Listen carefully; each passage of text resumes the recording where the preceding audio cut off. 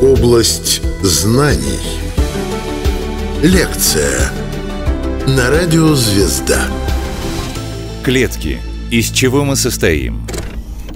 Рассказывает биоинженер, кандидат биологических наук, научный сотрудник Института теоретической и экспериментальной биофизики Егор Мусин. Область знаний. Когда мы говорим про анатомию, чаще всего мы имеем в виду наши конечности, органы, ткани, но все эти органы и ткани состоят из клеток. И самый главный вопрос, который мы должны по-хорошему себе задавать, как именно эти клетки по этому шаблону складываются. Ведь каждая из нас изначально происходит из всего лишь одной единственной маленькой изолированной клеточки, которая размножается и потомки которой начинают приобретать специализации, выстраиваться каким-то только им известным порядком и образовывать нас с вами. Этот момент, то, как мы из одноклеточного, по сути, превращаемся в многоклеточные, наверное, один из самых важных аспектов и не только анатомии, но и всей биологии как таковой. То, что мы сделаны из клеток, вещь не интуитивная и была она осознана достаточно поздно, лишь в 17 веке, когда все в мире сложилось таким образом, что в нем сразу появились и древесные пробки, и световые микроскопы, и замечательный ученый Роберт Гук. Рассматривая вышеупомянутую пробку в вышеупомянутый микроскоп, он обнаружил, что состоит она словно из каких-то маленьких и независимых ячеек, по отношению к которым он и употребил слово «клетка». С тех пор мы так и живем. И чтобы понять, опять же, как все эти клетки функционируют и выстраиваются в нас, слушающих радио, нам нужно сначала сказать про их строение. Грубо говоря, клетку мы можем представить как заизолированную жировую каплю, ведь первое, что бросается нам в глаза, когда мы на нее смотрим, а именно поверхность клетки, ее мембрана. Более научно правильно будет сказать, что состоит мембрана из фосфолипидов, ну а чтобы их представить, вспомните, как выглядит, когда вы капаете каплю масла в воду. Она растекается по поверхности воды, и эти две жидкости не смешиваются. Хорошо, но теперь вы начинаете усердно трясти бутылку с водой, внутри которой есть капелька масла. Что же произойдет? Все выстроится таким образом, что будут у нас масляные пузырьки, а внутри них будут капельки воды. Такая структура называется липосома и состоит мембрана такой липосомы как раз из двойного слоя жиров, ну, фосфолипидов, если быть точнее. И когда мы отправимся вглубь клетки, мы увидим, что такого же плана мембран и структур в ней в огромном избытке. Практически все, что мы можем разглядеть, рассматривая наши с вами составные части, это как раз такие вот жировые мембраны мембраны сами по себе не умеют э, что-то делать. Они не активны, они не способны воспроизводить какие-то механизмы, они всего лишь изолируют одну среду от другой. Но на каждой из них есть рабочие компоненты, а именно белки. И белок – это, по сути, рабочий инструмент. Есть белки, которые прям в мембрану встроены. Например, есть аквапарин, который по большому счету просто создает из себя пору, сквозь которую вода в мембрану и наружу может проходить.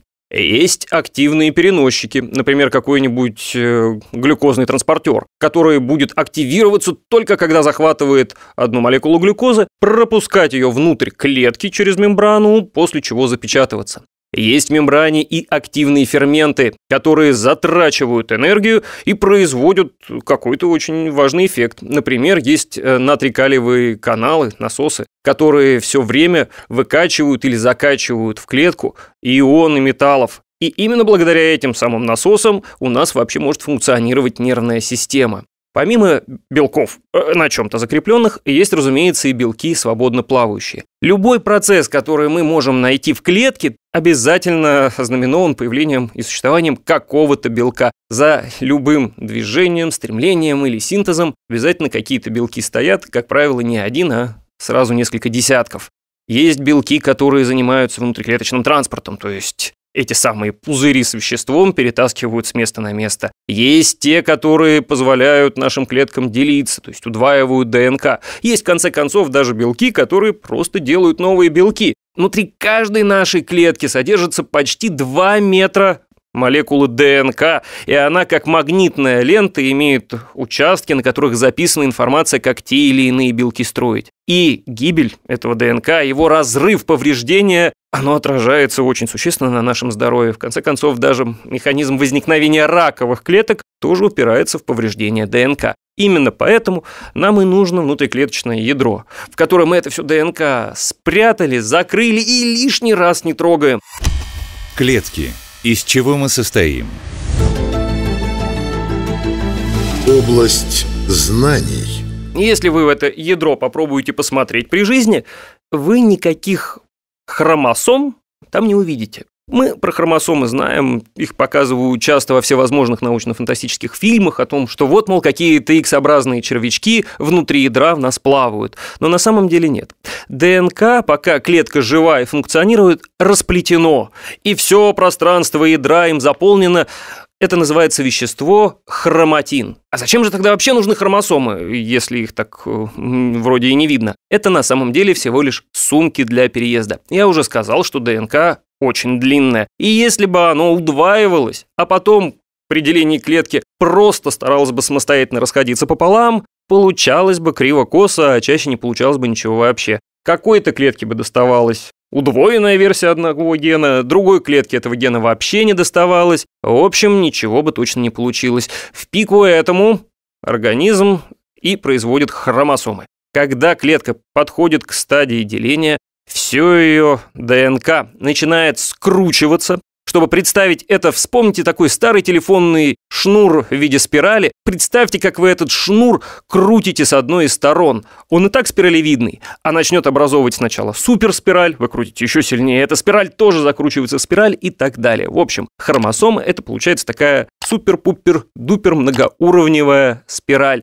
Некоторые люди представляют себе хромосому как какой-то чехол, внутри которого ДНК. Это не так. Это и есть само ДНК. Хромосома – это просто супер скрученная его версия.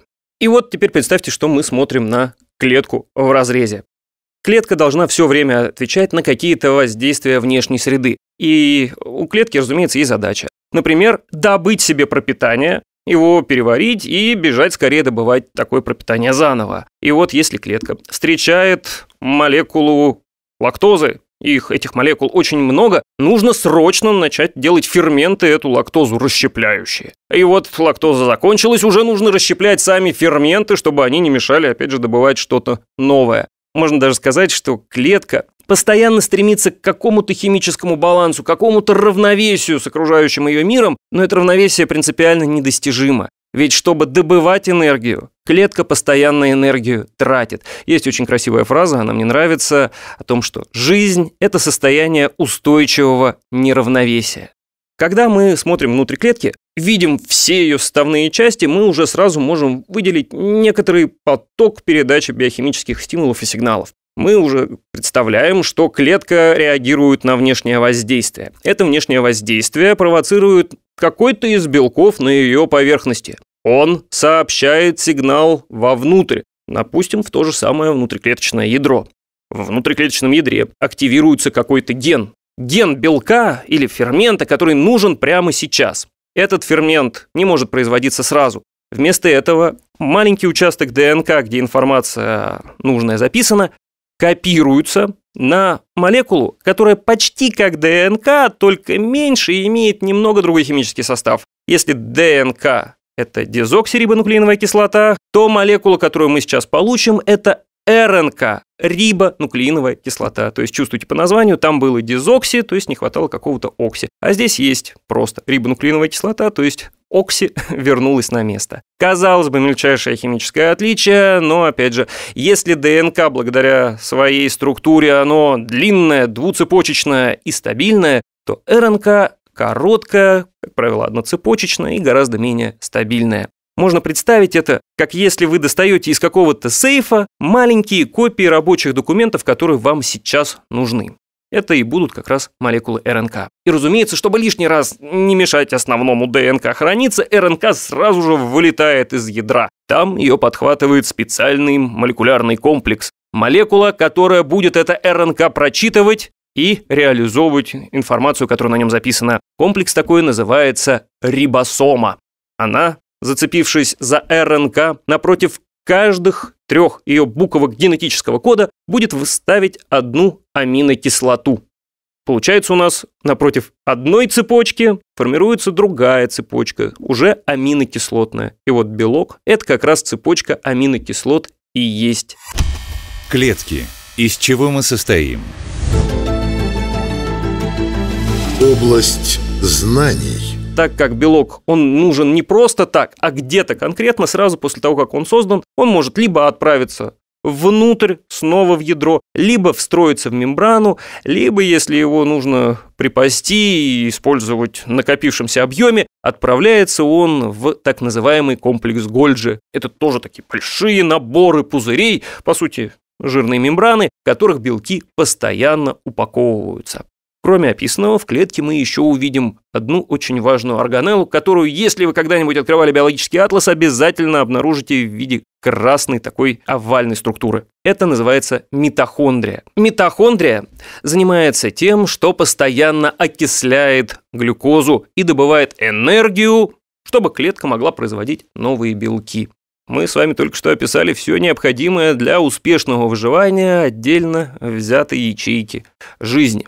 Теперь мы должны с вами задаться очень важным вопросом. Зачем клетки вообще хотят быть вместе? И если мы так задумаемся, то чем вы больше на соседа похожи, тем за большее количество ресурсов вы с ним конкурируете. Любое себе подобное существо вам будет только мешать. Логично предположить тактику, а от всех себе подобных бежать сразу и надолго, и потом еще всю жизнь за километр отходить. Но так не происходит. В пику всей этой логики клетки зачем-то решили жить вместе. И почему так произошло, на мой взгляд, необходимо понять, чтобы разобраться в анатомии. Представьте себе жизнь э, на достаточно раннем этапе ее развития в виде морской губки.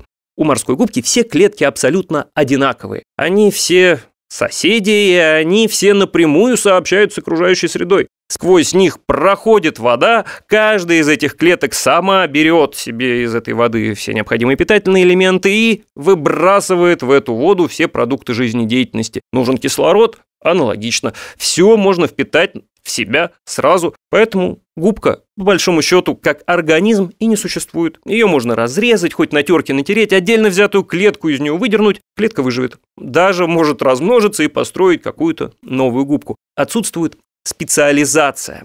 А именно специализация к многоклеточности нас сейчас и приведет. Морские губки – это прометазоа, до многоклеточные, потому что их можно как угодно делить, это скорее просто содружество. А истинные многоклеточные так не умеют. Мы, собравшись в большой клеточный конгломерат, начали разделять обязанности и начали по-новому решать задачи, которые одноклеточные формы просто не в состоянии сделать. Допустим, если вы хотите переваривать огромное разнообразие пищи, совершенно по-разному устроено, вам нужно большое количество пищеварительных ферментов, Одна клетка себе такого разнообразия просто не может позволить. И если вы хотите быстро мчаться от неблагоприятных условий или в поисках пищи, сколько жгутиков не отрастит себе одна клетка, она все равно никогда не угонится за парой миллиардов клеток, образующих мышцы плавника или образующих ноги. Таким образом, мы подходим к пониманию, что клетки, разделяя специализации, делают качественно новые структуры, которые вовнутрь клетки просто не умещаются. И давайте посмотрим, ну, скажем так, на схему человеческого строения. Что мы увидим? У нас есть, прежде всего, рот. Мы в него едим. И как только еда отправляется по рту вниз, она попадает в нашу пищеварительную систему. Это клетки, специализированные на переваривании добывании энергии. От пищеварительной системы очень сильно удалены наши конечности, руки, ноги. Они тоже состоят из живых клеток, им питание, кислород нужно. Значит, нам нужны клетки, которые будут заниматься транспортной функцией. Переносить питание из клеток кишечника в клетки, допустим, кончика левой пятки. Эти же клетки будут переносить и кислород. И вы, конечно, уже догадались, я говорю про клетки кровеносной системы. Наконец, если все клетки в организме живые, и вот у губки они не только брали питание из среды, но и выкидывали в среду все продукты своей жизнедеятельности, то и у нас клетки тоже должны куда-то продукты жизнедеятельности выбрасывать. И выбросят они его обратно, разумеется, в кровеносную систему. И значит, нам нужны еще клетки, фильтрующие всю нашу кровь. Появляются и они. Клетки. Из чего мы состоим? Область знаний.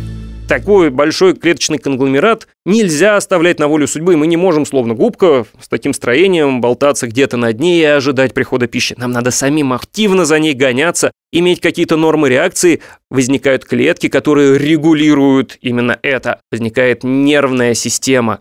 Ну и, наконец, мы же хотим предсказывать э, поведение того, на кого охотимся, или наоборот, поведение хищника, от которого убегаем. Нам нужен управляющий поведением мозг, как производная тоже от нервных клеток. И в этом плане очень интересно, где именно у нас мозг возник. Он возникает у нас на голове, это же вроде нелогично, ведь это хрупкая структура, и хотелось бы спрятать ее куда-то поглубже. Почему же она торчит так, словно просит, чтобы по ней ударили? А все дело в том, что мозг э, возникает рядом с ртом. Ведь рот изначально это самое чувствительное и самое важное место в организме. Мы в него пищу принимаем, и нужно огромное количество нервных окончаний, чтобы эту пищу проанализировать, понять, что она не острая, не отравленная, рассмотреть, как минимум ее еще надо найти и почувствовать, и чтобы все эти рецепторы вокруг рта обслуживать, именно для этого на голове возникает мозг. Смешно прозвучит, но да, голова появляется как структура, только чтобы в нее эффективно кушать. И вот, чтобы все эти структуры получать, мы должны иметь какой-то шаблон, который будет развиваться из оплодотворенной яйцеклетки, с которой мы все с вами начинали. И выглядит ее развитие примерно следующим образом. Прежде всего, она многократно делится или по-другому дробится. Образуются, по сути, точные копии одинаковых клеток, и в этот момент ну, допустим, на стадии каких-нибудь 32, 64 клеток, пока все клетки одинаковые, мы, по сути, соответствуем морской губке. Мы повторяем ее строение из неспециализированных клеток. Такая структура похожа на малину, и ученые, недолго думая, ее малиной назвали, правда, по латыни получилось слово «морула». Вслед за этим в моруле начинает образовываться некоторое пространство. Клетки расходятся на периферии и формируют пузырек. И пузырек ученые назвали прям так же. Пузырек, а именно бластула. Пока еще все клетки одинаковые, но еще спустя одну секунду одна из стенок этого пузырька начинает, по сути, вгибаться вовнутрь. И что уже у нас получится? Представьте себе сдутый футбольный мяч, похожий своего рода на такую миску. Два слоя клеток. И с этой секунды клетки уже генетически разделяются. Гены, необходимые для того, чтобы быть кожами, покровом, оставшиеся снаружи, это эктодерма. Клетки, которые ушли внутрь, которые впоследствии станут нашей пищеварительной системой, это энтодерма, внутренняя кожа. Еще спустя какое-то время между ними появляется третий слой. Это мезодерма, кожа средняя. Из мезодермы произойдут наши кровеносные сосуды и наши мышцы. И вот эти три, как их называют, зародышевых листка, это три главные генетические программы клеток. После этого начинается их некоторая специализация. Из эктодермы появятся эпителиальные клетки и клетки нервной системы. Образуются органы, такие как кожа, ногти, волосы. Отдельно очень интересно, именно отсюда же образуются зубы. Мы иногда думаем, что зубы – это кости, просто потому что они на них похожи, но вообще, если мы посмотрим на эволюционное происхождение и эмбриональное развитие, мы поймем, что зубы – это производная именно покровов. Когда-то в свое время у рыбы это была просто заостренная чешуя, у нас она просто дошла уже до состояния несменяемых, по сути, почти что костей. Если мы говорим про мезодерму среднюю кожу, то из нее образуются сердце и сосуды, то, что эти сосуды будет фильтровать, то есть почки, Наши половые железы, кости, хрящи и мышцы, ну и, наконец, энтодерма, внутренняя кожа, наш кишечник, понятное дело, вместе с желудком, печенью и все, что связано с пищеварением. И отдельно очень интересно наши легкие. Мы привыкли считать, что легкие, наверное, ближе нам к кровеносной системе, ведь они же насыщают кровь кислородом. Но нет, опять же, исторически эволюционные, в том числе эмбрионально, легкие – это всего лишь вырост пищевода. Именно поэтому у нас такой Своего рода дурацкий дизайн, мы в одну и ту же дырку и глотаем, и дышим. Надгортанник несчастный должен постоянно то одно, то другое горло прикрывать, иначе можно подавиться. Если однажды прилетят инопланетяне и посмотрят на нашу анатомию, думаю, это то самое место, где они будут э, смеяться дольше всего. Наконец, после того, как все типы клеток, все эти зародышевые листки образованы, они приобрели специализацию, мы можем говорить уже о полноценном организме, который похож на маленького человека и однажды обязательно в большого человека вырастет. Рассказывал биоинженер, кандидат биологических наук, научный сотрудник Института теоретической и экспериментальной биофизики Егор Мусин. Область знаний.